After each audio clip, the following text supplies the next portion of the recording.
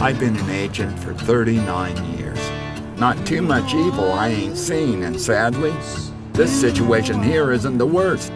The fuck y'all whispering about? We gotta get the boat. What the? What the fuck, Rod?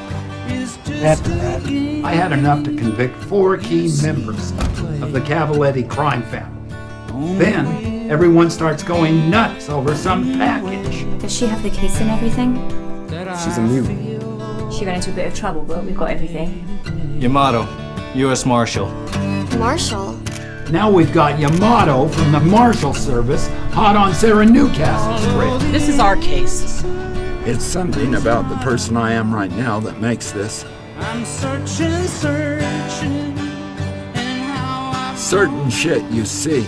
It makes you reflect on your own life, focus on your own mistakes.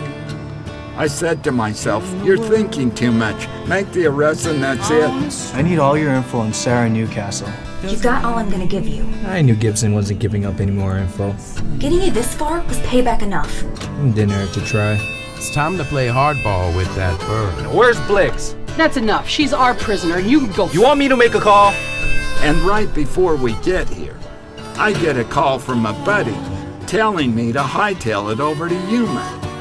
Now, I can't do both. No, no, you can't. I got a lead on Marion and Sarah Newcastle. Know the world.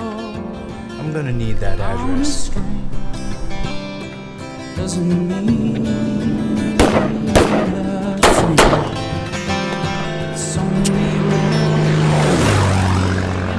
I figure it's God's will.